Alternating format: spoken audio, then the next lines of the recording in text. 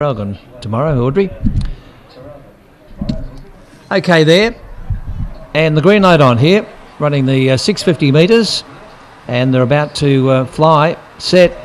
Always About Me began well, but collided with Farboom just after the start. Barroom Shiraz showing plenty of pace, and Brindle Audrey, she cleared them easily. Brindle Audrey races away by three lengths. Always About Me on its hammer now. Four away third, Barroom Shiraz, followed by Kokoda Eclipse and Farboom. Well back in the field, Citrus Kiss, and uh, well back out of that also at that stage as they run off the back turn there and head up towards the side of the track.